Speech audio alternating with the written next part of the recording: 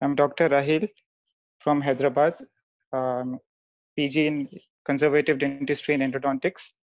And first of all, I would like to thank the entire team of Dr. Teeth for giving me this opportunity to share my knowledge and have some discussions with you all.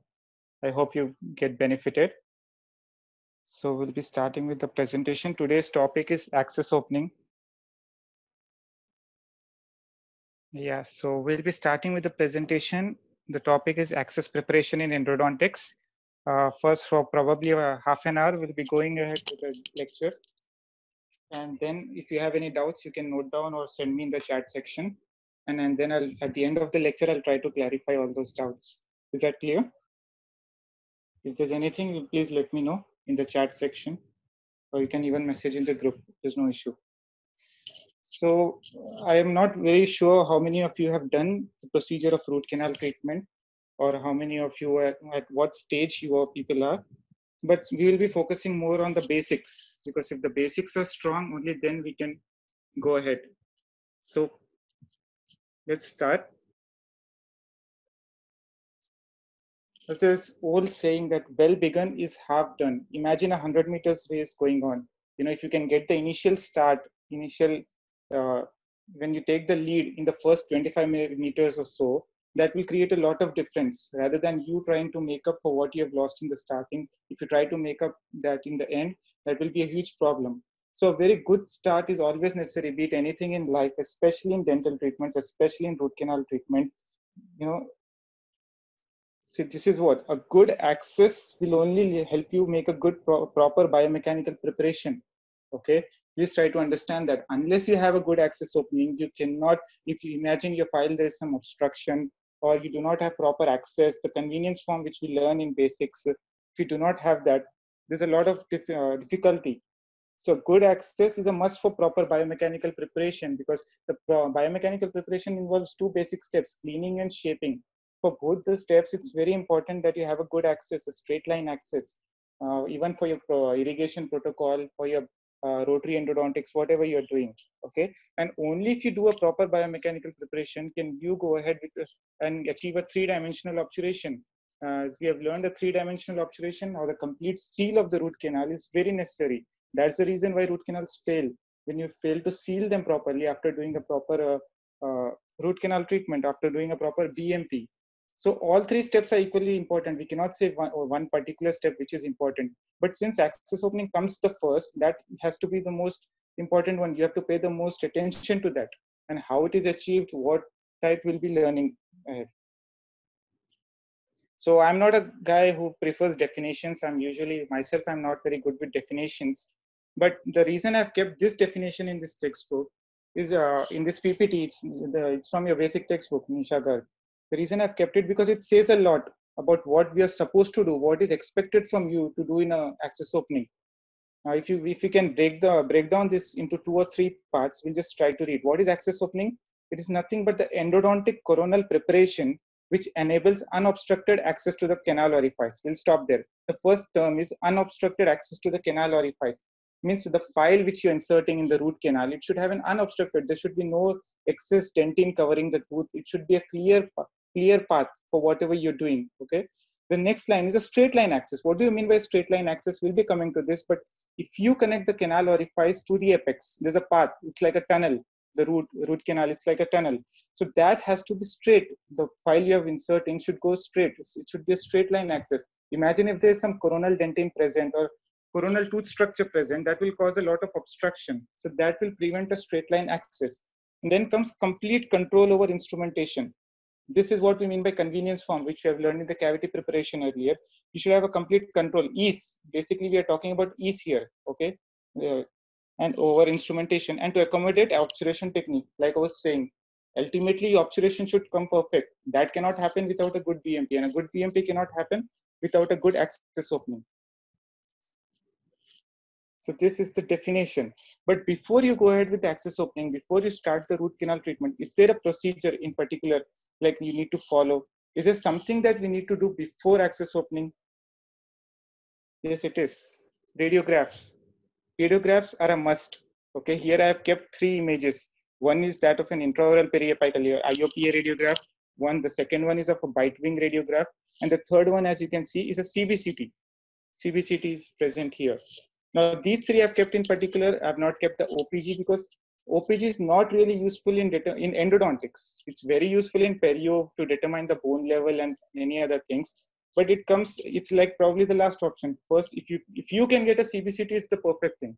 But it's expensive and not very common in India. In India, we manage with intraoral periapical X-rays, your IOPS, and that's enough. But the disadvantage of IOPA is that it is a two-dimensional image of a three-dimensional object. Okay, so you you cannot see from uh, different angles. You can so see, this is the this is the IOPA image. As you can see, if there are if there's a cervical uh, cervical abrasion, you cannot clearly make it out in the IOPA. All those such things can be seen in a uh, CBCT. In the CBCT, you can even determine the number of canals, whereas in an IOPA or bite wing, you cannot exactly determine the number of canals. Yes, you can get an idea about what it is. Can, uh, you can get a basic idea about the curvatures, about the anatomy. All these are enough. But the number of canals, you can't be very sure especially in premolars and molars. You, you cannot you have to take the angle uh, from different different angles you have to take the radiographs.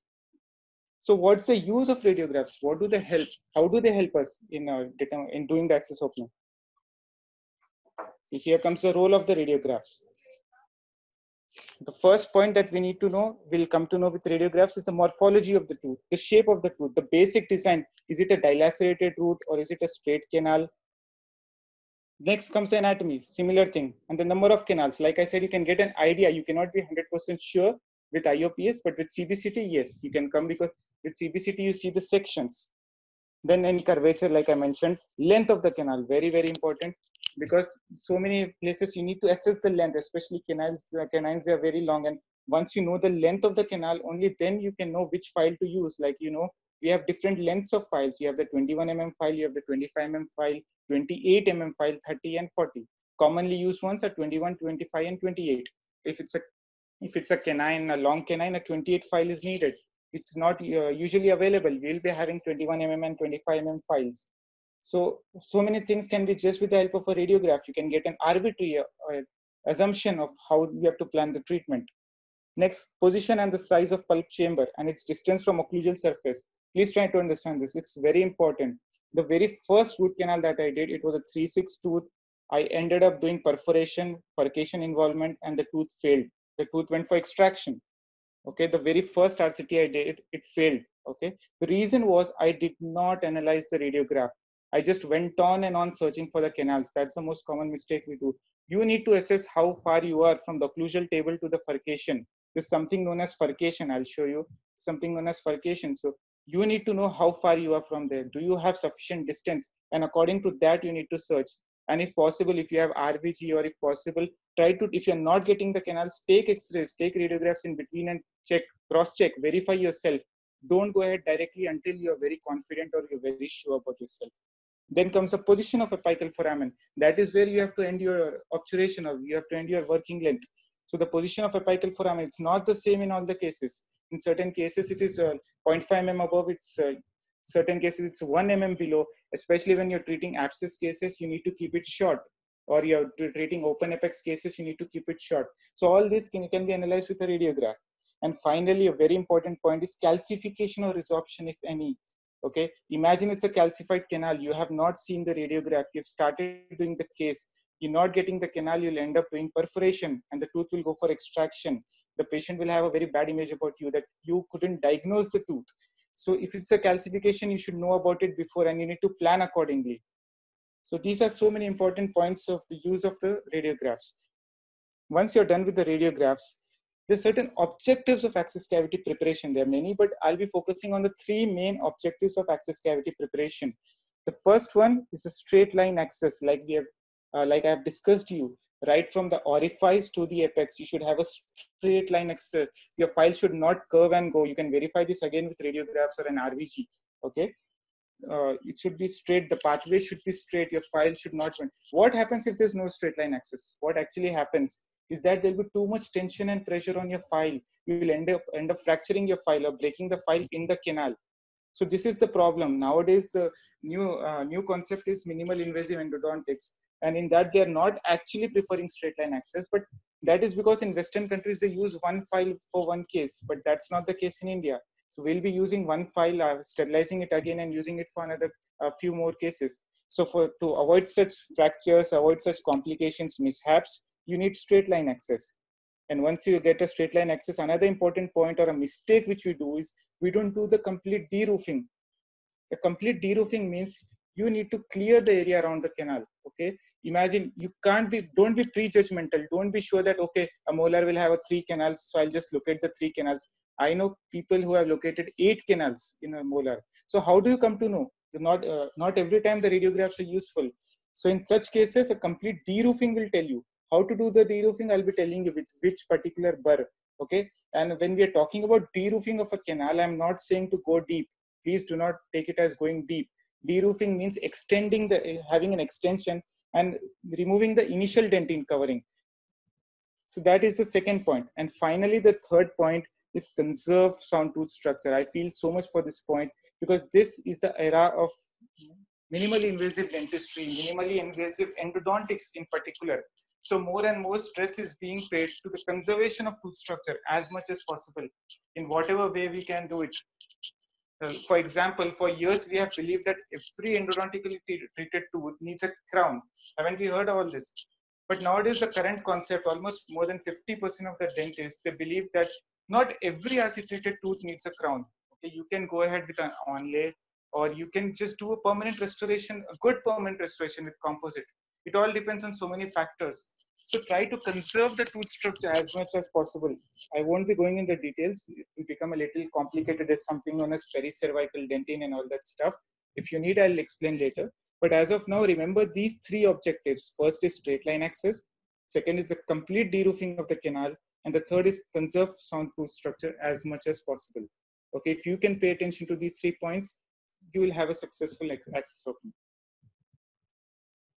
Next, what are the what are the instruments used in access opening? Uh, there are many actually, but I'll be just discussing about the main ones. And when I'm talking, I'm talking just about access opening. Okay, so the armamentarium used in BMP is totally different. The armamentarium used in obturation is totally different. So unlike uh, with due respect to all of the specialities, uh, endodontist needs to have a lot of armamentarium, a lot of things, uh, unlike surgery and other fields.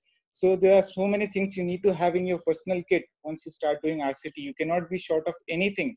Okay. So what are the main things? Uh, here's a list of the basic things that you need. The access opening burrs, access refining burrs, the GG drills, explorers, spoon excavators, and ultrasonics. Okay. Ultrasonics are the new advancements and uh, like I have said, these are just only for access opening.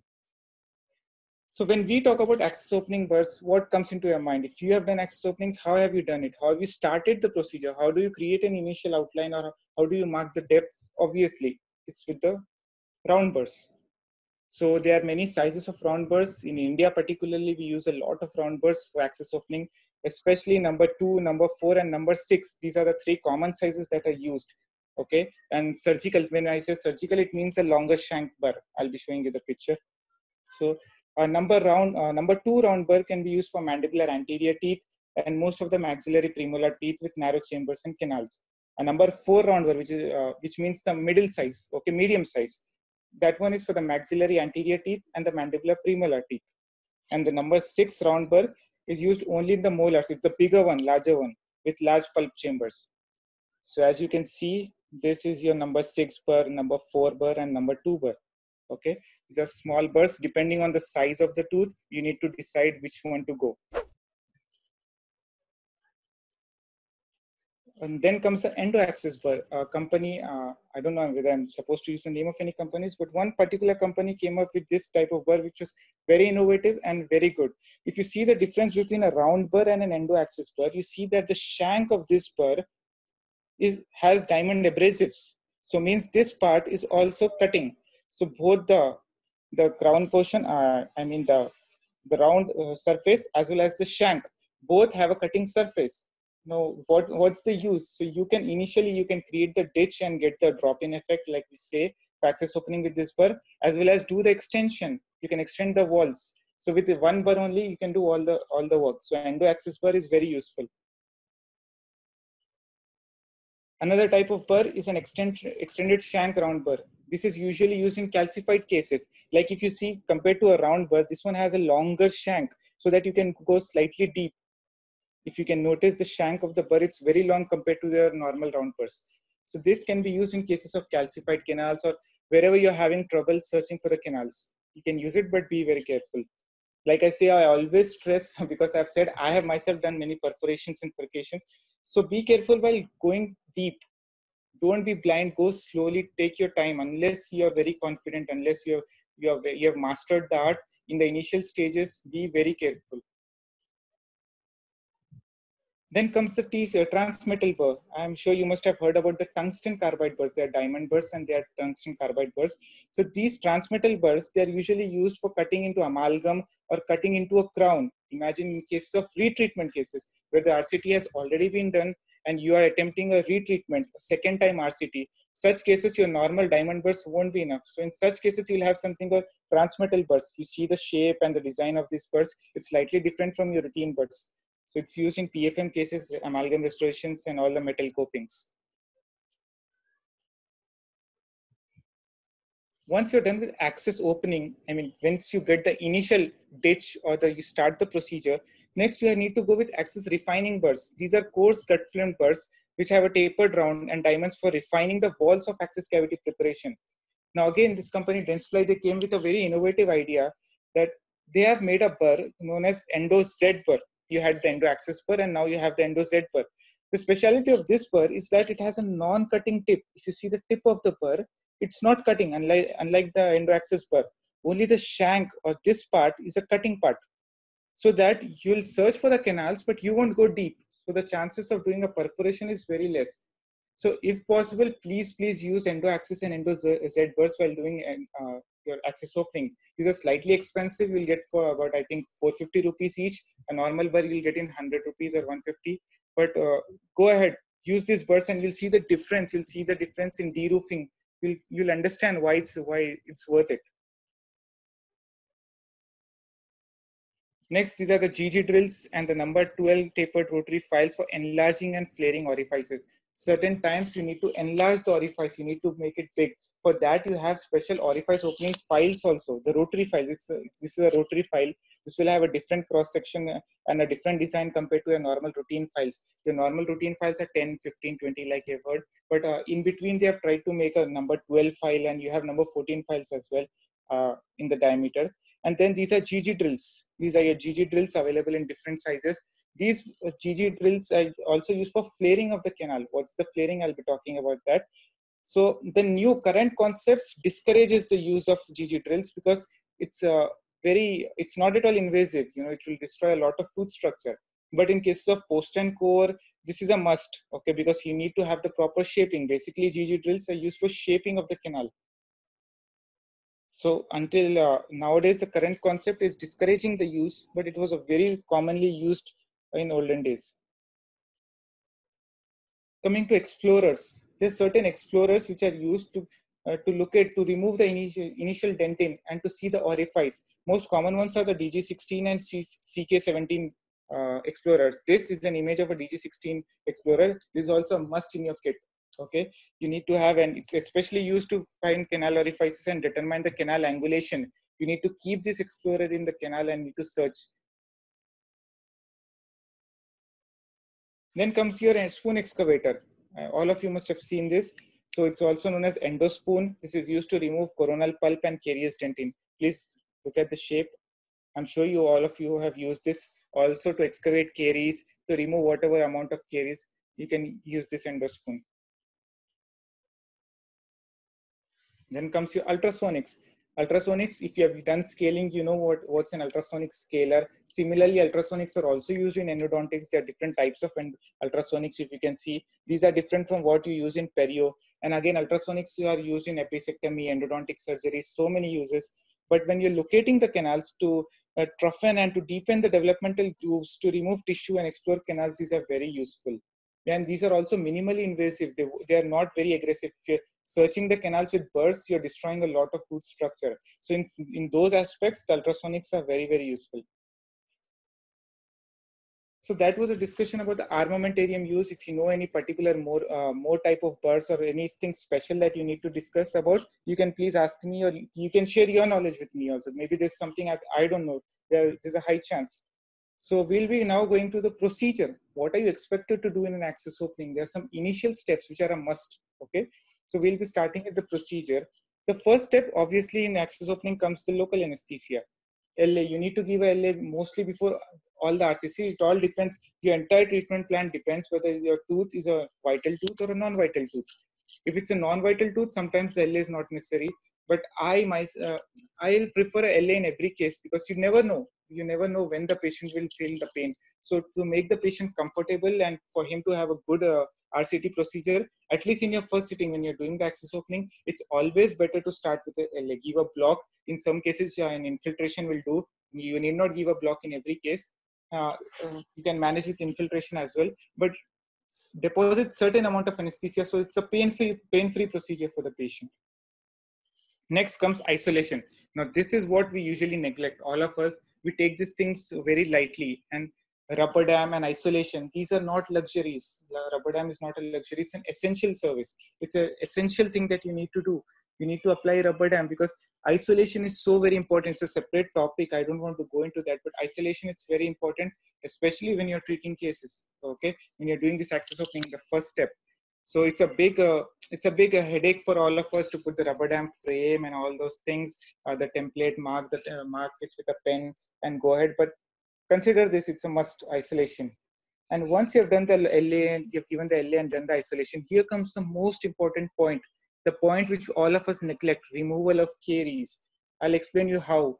Our focus is always to locate the canals. We'll be focusing to locate the canal. Imagine you're doing an anterior rc once you get in dropped in and you get the canal your file is going into the canal you stop there so don't do that. Make sure that you have removed the entire caries. The presence of caries is the biggest reason for endodontic failure. I repeat presence of caries is the biggest reason for endodontic failure. So removal of caries is very important. No matter what even if you have located the canal even if you are if you are losing tooth structure if there are caries present remove it. Don't keep caries okay? Maybe sometimes you'll have to remove a lot of tooth structure and then replace it with post and core or crowns or so many things. But removal of caries is something you cannot compromise with. So that's a very important point. And once you have removed the caries you, to get the access direct a round burr now how? If the tooth is totally if the occlusal table is totally fine you can just start from the middle. Okay? No but if you have caries say from mesial aspect or distal aspect or buccal aspect i would always yeah i would always advise you to to have in caries directed opening. Means the caries will direct you to the canals you need not do anything extra. Just keep on removing the caries and if you have an idea about the canals you can reach over there. In the initial stages yes you can start with a normal standard access opening but you need to master this art to gain the entry from the caries zone. And finally comes the drop-in effect the drop-in effect like you see you'll feel a drop-in when you're going and that indicates that you have reached the pulp pulpal chamber you have reached the area where you're supposed to search for the canals. There's a sudden drop in when you're using with a round burr for different teeth it is different and it's not compulsory that in every case you'll get a round, drop in effect. So don't be hoping for drop in effect in every case and perforate the tooth but in most of the cases yes if you're going right you'll feel it. So these are the initial steps. Just make a note. Local anesthesia isolation removal of caries directing the round burr and drop in effect so once you go there, how do you know that you have located the canals? Is there any law? Is there any rule? Yes, it is. Yes, there is. Okay, so there are certain laws that you need to know. There are certain laws that you need to follow. And these are slightly complicated, slightly theoretical. Please pay attention. And if you're not able to understand, please let me know. Just note down the names first. It's there in the textbook, of course. But the law of centrality, the law of concentricity, law of CEJ, law of symmetry 1, law of symmetry 2, law of orifice location 1, law of orifice location 2, and law of orifice location 3. Okay, remember the names and we'll be going in detail about each of them. So the first one, law of centrality and law of concentricity and law of CEJ are more or less, they're talking about the same thing. I'll tell you how. If you are searching first, let's start with the law of centrality. Where to locate the canals? Where are the canals present in a tooth? See, you cannot expect a good RCT without knowing the anatomy of the tooth. You need to know where are the canals present. You need to know how many canals are usually present in each teeth. If, if it's a maxillary molar, how many canals are usually present in a maxillary molar? It's three or four. If it's a mandibular premolar, how many canals are usually present in a mandibular premolar? So you need to know, you need to have knowledge about the anatomy okay and where are they present you need to follow the law of centrality they're always present at the center of the tooth if you see this tooth where are the canals present? They are present in the center. Similarly see this. See this. So the canals are always located in the center. Okay? This is not exactly applicable for maxillary first molars because you have something known as the oblique ridge. I'll be explaining to that. That's a different concept. But as of now remember the law of centrality. The canals are always located somewhere near the center of the tooth. They're not located at the at any corner or any end. Next comes the law of con- concentricity to understand this, you need to understand the term concentric. What do you mean by concentric? Have you seen concentric circles? Uh, I don't have the image right now. You can check in Google, see what are concentric circles, concentric, uh, anything. Two, two things which are similar to each other, like kind of parallel. Okay. So if you see the design of this tooth, see the design of the access cavity, they're so similar to each other. This is concentricity. Look at the design of the tooth and look at the design of the pulp chamber. Is it not following the same thing? For example if there's a bulge here there's a bulge here okay? If there's a depression here there's a depression here. This is the law of concentricity. I'm not saying the definitions you need to read that and write. I'm just explaining you the concept okay? You need to, you can just uh, read by heart the definitions of all these laws. I'm trying to make you understand. And the law of CEJ of course you have a cemento enamel junction uh, for every tooth. And at that uh, that surface mostly you'll be having the canals. And that is where it will follow the pattern so the law of centrality, law of concentricity, and law of CEJ. Next comes the law of color change. Okay, every every tissue of the tooth has its own color. If you see enamel, it's white. If you see, it's not actually white, it is translucent, but it appears white. Okay, if you see dentin, it is yellow. It's kind of yellow, not exactly yellow. The floor of pulp chamber is different the root canal orifices they are very dark gray or black. If they are pulp stones they'll appear white and yellow. Why are we talking about this law? Because if you see any access opening you'll appreciate. See just because of the color you're able to understand. Can you make out? The orifices these are so dark black. The pulp chamber the initial enamel and dentin the floor. You will come to know. And all these canals are present on the same floor. They're not like they're not at different heights so because of that, you need to, this is something known as dentin map. You need to get a dentin map when you're doing access opening.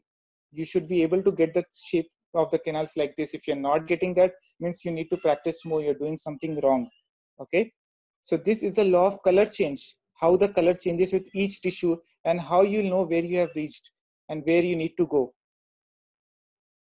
Next comes the law of symmetry. There are two laws of symmetry. I'll just read and explain again.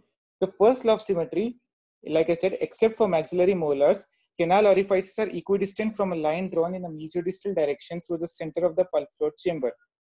You can see this. If you draw a mesiodistal line, the canals are equidistant. Okay, look at these canals. You cannot have a mesiobuccal canal here, and you cannot have a mesiodistal canal somewhere here like this. They have to be at equal distance. If from the midline, if this is say for example 2 mm, this also will be 2 mm okay? So that is the law of symmetry one. So the mesiobuccal canal and uh, the mesiolingual canal they're equal from an imaginary line, if you draw. Next comes the second law of symmetry. Except for the maxillary molars canal orifices lie on a line perpendicular to a line drawn in mesodistal direction across the center of the floor, pulp floor chamber.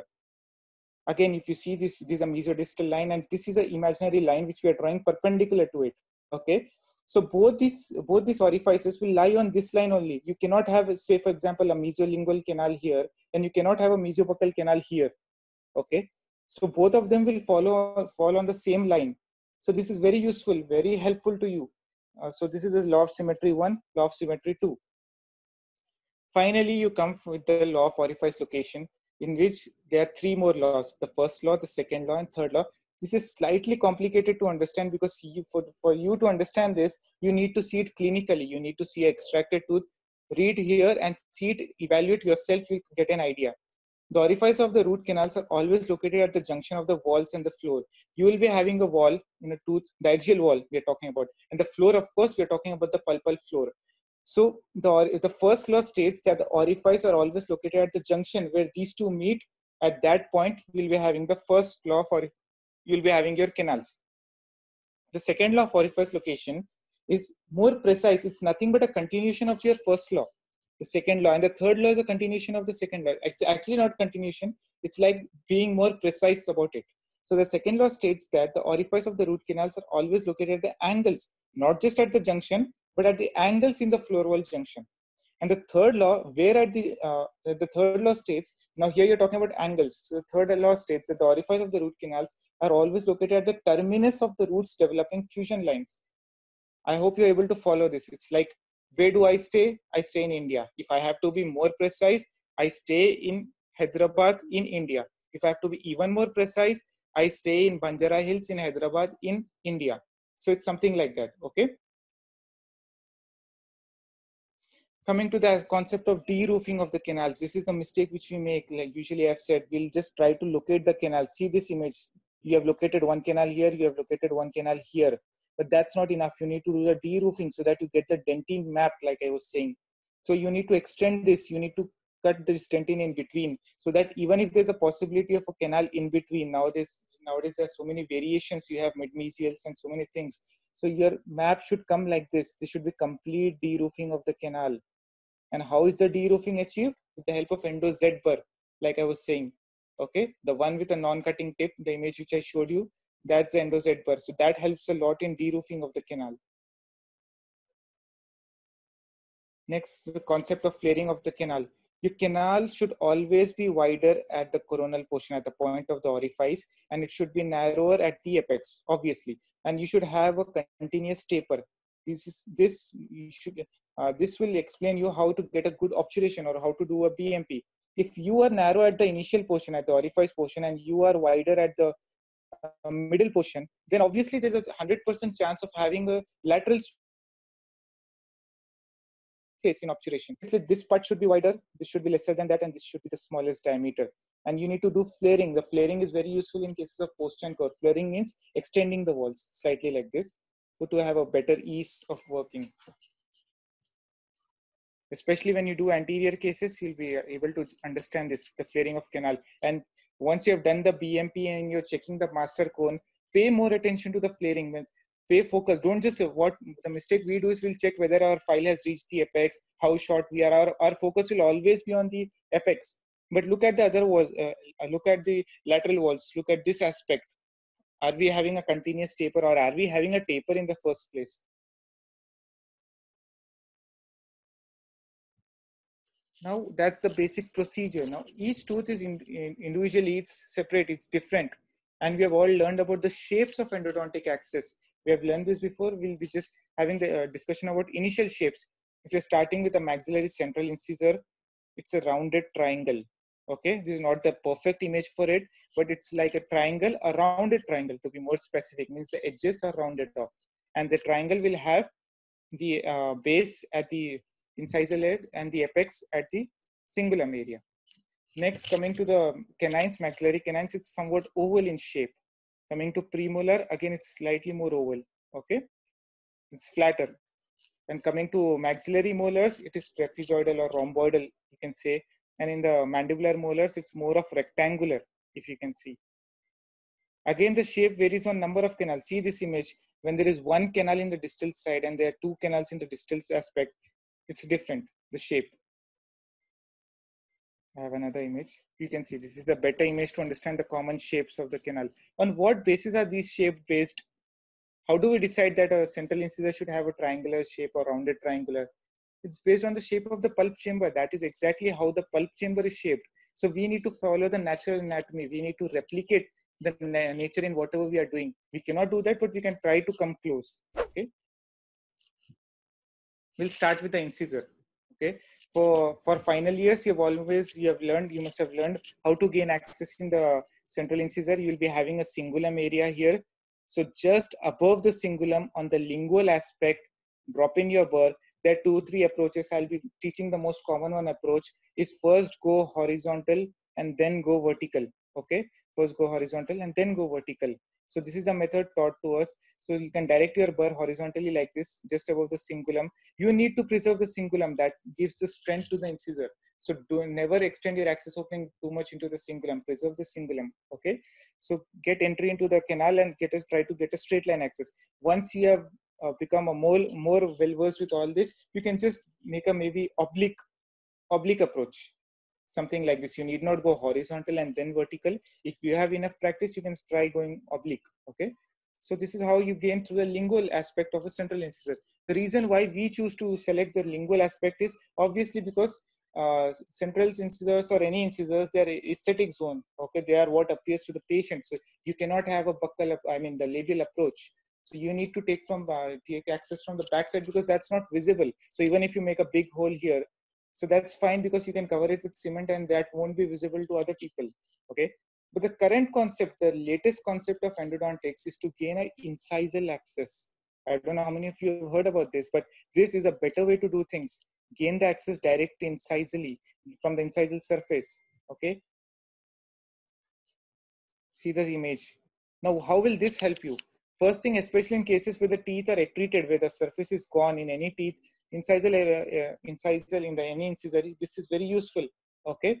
And the next thing is it will conserve a lot of tooth structure. When you're gaining entry from the lingual aspect, you're destroying too much of tooth structure. Again, the concept of minimally invasive endodontics. Okay, I always pay for more attention to that because I feel we need to conserve tooth structure. We cannot replicate what nature has done. We cannot replicate what God has given us. So as far as possible, whatever you can do, just try to save it. Okay, try to save the tooth structure. So this is the incisal access. Next comes the premolar access, the shape. The canals are always present buccolingually. Okay, though if you're searching for canals, don't search in mesiodistal direction. I've, I've seen some interns doing this mistake. The canals are not present like this. The canals are present buccolingually. So try searching. See, if it's a maxillary premolar, almost always you'll be having two canals. So you'll have one buccal and one lingual or one palatal canal. Sorry, it's palatal, not lingual. So if you are using, a, if you are doing a maxillary second premolar. Now that's controversial because the textbook says that it will have one canal, but I have done so many cases and I've almost 90% of the times I've found two canals. So always look for the second canal in maxillary second premolar. The first premolar, always two canals. Maxillary second premolar, most of the time two premolars. Coming to mandibular premolars, mostly one canal. Okay, you'll be having if, if it's a one if it's one canal, it will be at the center of the tooth here okay directly. You just need to get a ditch you'll get a straight line access. But mandibular premolars are usually considered to be enigma of endodontists. There's this term known as enigma of endodontists. The reason is they have a lot of variations. There are too many variations. Like there are curvatures there is an anastomosis there's division of canals. So it's very difficult sometimes okay? And then there is a concept known as mouse hole effect more commonly seen in premolars. Have you i'm sure you have seen this in tom and jerry videos and all this. This is how a mouse hole is made. Okay. So if you are doing access opening, make sure your extension is you do the complete extension. This is a wrong way. Your canal should not be half have the wall should not cover half of the canal. Okay. So it should this is how it should be. You should not be having a mouse hole effect. Okay, you need to extend more. If you're getting something like this, it means you need to extend more okay? And we were talking about the law of orifice location the junction of the wall and the floor. See this is how i hope you're able to understand this. Okay? This is the wall this is the floor. At the junction you'll be having the canal. Do not extend more. Again you're cutting too much of tooth structure. Then comes the big headache the maxillary molars. I don't know if if you have to choose like which is more difficult maxillary mandibular molars most people will be saying maxillary because that is because of indirect vision. But if you remove the indirect vision apart you'll be having I feel maxillary molars are easier compared to the mandibular molars. Okay, so this image is not inclined properly. This is not how it is. This is the palatal canal. I I hope you're not getting confused. This is the palatal canal. This is the buccal surface. Is the palatal surface. It's not the mesiodistal. Okay, this is the buccal and this is the. So you will be having a palatal canal, and then you will be having a mesiobuccal canal and a distobuccal canal. Usually, the anatomy says three canals. So how do you search? Always start with the bigger one. Always start to look at get the bigger canal first okay? So first look at the palatal canal. It's very wide and very easy to look at. Incline your burr in the palatal direction you'll get the palatal canal very easily. Once you get the palatal canal, palatal canal i would advise you to go in the distal direction. Extend it in the distal direction and search for the canal. You'll get a distobuccal canal. Slightly above it's making a triangular shape. You'll have a mesiobuccal canal Okay, so mesiobuccal, distobuccal, palatal canal. And there's one more concept. Uh, you'll be having an oblique ridge. All of you know the oblique ridge, right? So the, the canals or the map is always located mesial to the oblique ridge. Okay. I'm not sure this is a perfect image to show this. I'll be showing you a better image probably. So the canals are always located to the mesial aspect of the oblique ridge. It's never distal to the oblique ridge. Even if you have distal caries, extend from the distal, uh, extend from the distal side, but the canals will be located at the oblique ridge or distal. And try to save the oblique ridge. Always, like you've learned this in cavity preparation, also try to save the oblique ridge. Then comes the big headache, MB2. MB2 is a very challenging thing. There's one more canal secretly hiding in the tooth, and that is your MB2 canal it's so difficult to locate i'm telling you. It's not at all easy and that's why most of us ignore this. What we'll do is we'll locate the three canals we'll leave the fourth canal. Because it's difficult.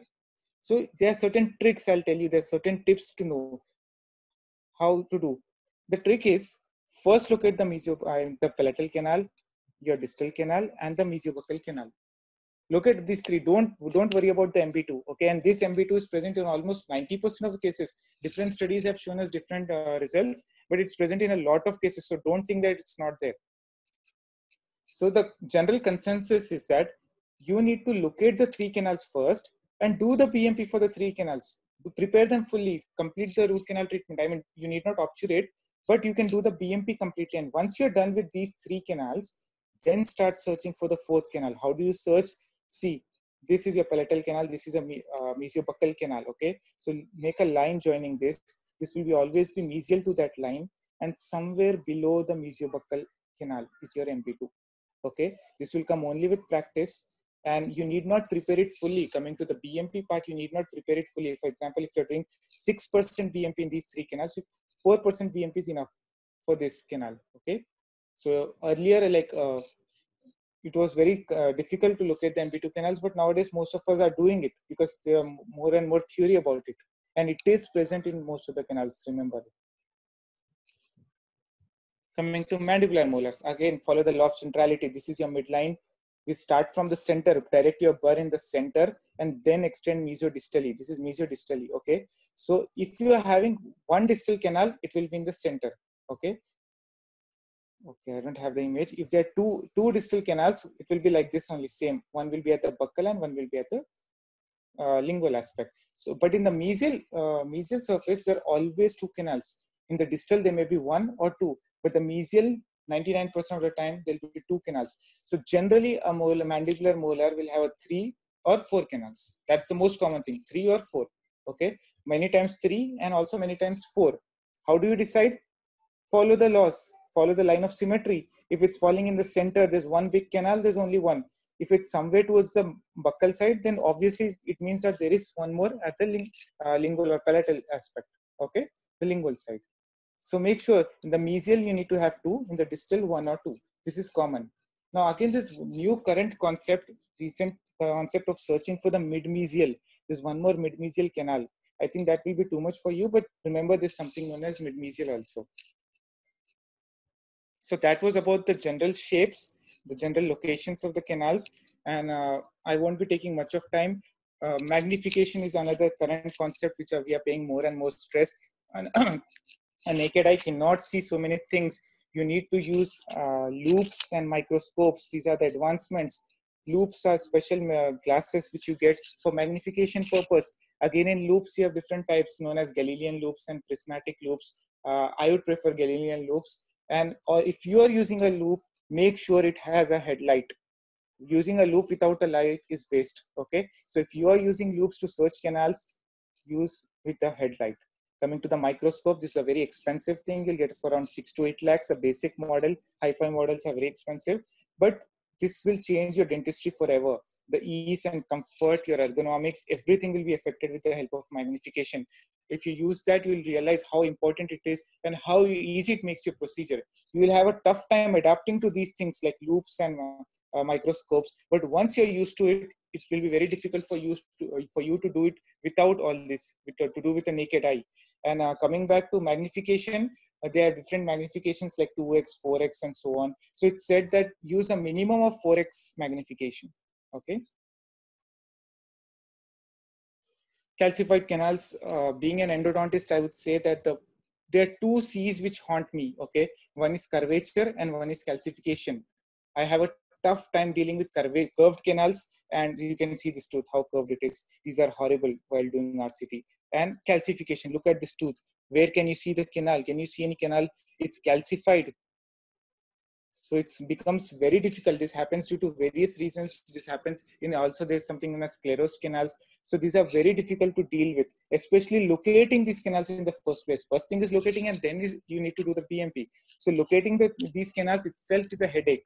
So how do you do this? You can use ultrasonic tapes. You can use sharp instruments. I was talking about dg16 explorer. You remember that so the DG16 Explorer, other explorers are very useful. Uh, those number 12 rotary files are useful. And then comes use of chelating agents. You know what's a chelating agent? Have you heard about EDTA? EDTA uh, based RC help. You can apply that. You can call the patient after five days. That will help. That will cause chelation in the tooth and that will help open the orifice. So use chelating agents when you're not able to uh, get the canals. When you're having a difficult time, put some RC help, call the patient after a few days. So this is a current concept. This is known as truss access. Look at this image. What's a truss access means? You'll preserve the middle dent, uh, middle dentine portion. Here comes your uh, distal canals. Here are the mesial canals. So you can see you're conserving certain amount of tooth structure. This is something hi-fi. I would advise you first learn the basic things, first learn the conservative methods, and then go for hi-fi or uh, more modern approaches. But just for you to just know, I'm just telling this is a truss access. Okay. So you can see the radiograph also, how it will preserve the tooth structure. It looks a very small amount of tooth structure. You would say, what's the use of saving this, this much amount of tooth structure? But that really helps in the survival of tooth okay a root canal surviving for two years a root canal surviving for five years a root canal surviving for 20 years this is a difference okay that's what differentiates a normal dentist and a, a very good dentist a very good endodontist okay and then came the concept of saving the tooth structure so we started doing a medium size access opening okay? And this is the latest concept. Look at this. This is the this is also known as ninja access. You must have heard about it on facebook. The ninja access. See how much how much amount of tooth structure that you're uh, saving with this um, uh, this access opening. Now comes the question: Which access opening is the best? Is it this one, the conventional method, or this one, or this one, the Ninja access? So I would say not me, but most of the even uh, if you see, follow the current uh, leading endodontists worldwide, they would not prefer an Ninja access. They would prefer something moderate size. I'll tell you why. Because this will have a this will have a great impact on your cleaning and shaping. It won't be your files won't accommodate easily and you'll have a tough time. That will result then there's no point if you're not doing the cleaning and shaping properly there's no point in conserving tooth structure. Okay first comes proper cleaning and shaping and then comes conserving tooth structure. Okay so a medium size access opening should be fine where you can you can preserve the marginal ridges where you can uh, save a lot of tooth structure not damage it like this and you can also get a straight line access. So you need to pay attention to all the aspects and then maybe it will become successful. Okay. So that's it about the basics of access opening. There's a lot more subject, but I just want to stay till here. If you have any doubts, please let me know. Uh, if you can just ask me the questions, whatever you're having. And if there are any more topics that you need to know in endodontics or conservative, uh, probably after one week, I'll be taking another discussion. So do let me know in the group also or here also about what topic you need to you need to hear a lecture. Thank you.